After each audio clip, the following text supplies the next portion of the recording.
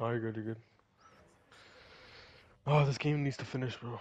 Guys, I muted Taka. When the when the shot clock's running down, like at two seconds, give him the ball so you can shoot. He can still hear you.